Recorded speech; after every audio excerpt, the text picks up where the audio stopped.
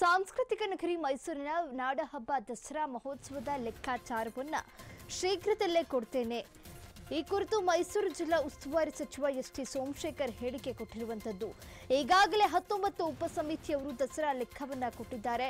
ಎರಡು ಉಪಸಮಿತಿಯವರು ಖರ್ಚು ವೆಚ್ಚವನ್ನ ಇನ್ನೂ ಲೆಕ್ಕ ಕೊಟ್ಟಿಲ್ಲ. ಅವರು ಲೆಕ್ಕ ಕೊಟ್ಟರೆ ಇದೇ ಹಿಂದೆ ಸುದ್ದಿಗೋಷ್ಠಿಯನ್ನ ನಡೆಸಿ ಲೆಕ್ಕ ಕೊಡ್ತೇನೆ.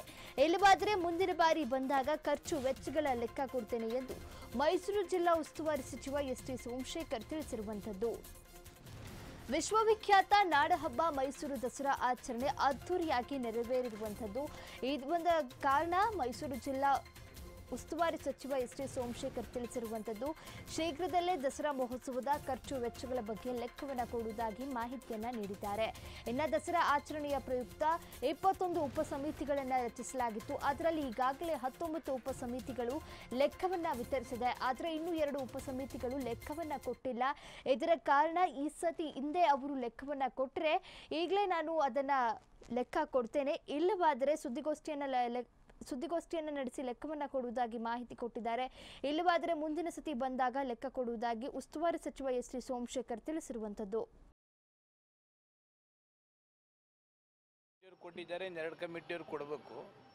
ಈಗ ಇಲ್ಲ, ಎಲ್ಲ ಹತ್ತೊಂಬತ್ತು ಕಮಿಟಿಯವ್ರು ಕೊಟ್ಟಿದ್ದಾರೆ ಎರಡು ಕಮಿಟಿಯವ್ರು ಕೊಡಬೇಕು. ಈಗ ತಾನೇ ಹೇಳಿದ್ದೀನಿ. ಇವತ್ತಾದರೆ ಕೊಟ್ಟರೆ ಇವತ್ತು ಪ್ರೆಸ್ ಮೀಟ್ ಮಾಡ್ತೀನಿ. ನೆಕ್ಸ್ಟ್ ವೀಕ್ ಬರ್ತೀನಿ, ಅವಾಗ ಕಂಪ್ಲೀಟ್ ಮಾಡ್ಬೇಕು, ಮಾಡಲೇಬೇಕು ಅಂತ ಹೇಳಿದ್ದೀನಿ. ಎಲ್ಲ ಕಲೆಕ್ಟ್ ಮಾಡಿದ್ದಾರೆ ಇನ್ನೆರಡು ಕಮಿಟಿಯವ್ರು ಏನೋ ಕೊಡಬೇಕಂತೆ ಕೊಟ್ಟ ತಕ್ಷಣ ಕೊಡ್ತೀನಿ.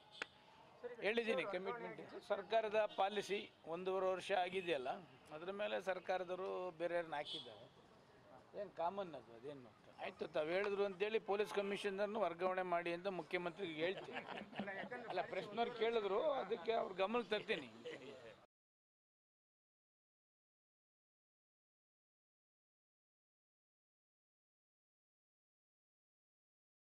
ಇಲ್ಲ ಎಲ್ಲ ಹತ್ತೊಂಬತ್ತು ಕಮಿಟಿಯವ್ರು ಕೊಟ್ಟಿದ್ದಾರೆ ಇನ್ನೆರಡು ಕಮಿಟಿಯವ್ರು ಕೊಡಬೇಕು.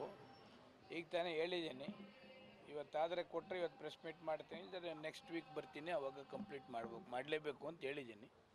ಎಲ್ಲ ಕಲೆಕ್ಟ್ ಮಾಡಿದ್ದಾರೆ ಇನ್ನೆರಡು ಕಮಿಟಿಯವ್ರು ಏನೋ ಕೊಡಬೇಕಂತೆ ಕೊಟ್ಟ ತಕ್ಷಣ ಕೊಡ್ತೀನಿ.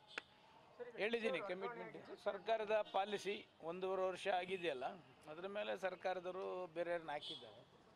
ಏನು ಕಾಮನ್ ಅದು ಅದೇನು ಆಯಿತು ತಾವು ಹೇಳಿದ್ರು ಅಂತೇಳಿ ಪೊಲೀಸ್ ಕಮಿಷನರ್ನು ವರ್ಗಾವಣೆ ಮಾಡಿ ಅಂತ ಮುಖ್ಯಮಂತ್ರಿಗೆ ಹೇಳ್ತೀನಿ. ಅಲ್ಲ ಪ್ರಶ್ನವ್ರು ಕೇಳಿದ್ರು ಅದಕ್ಕೆ ಅವ್ರ ಗಮನಕ್ಕೆ ತರ್ತೀನಿ.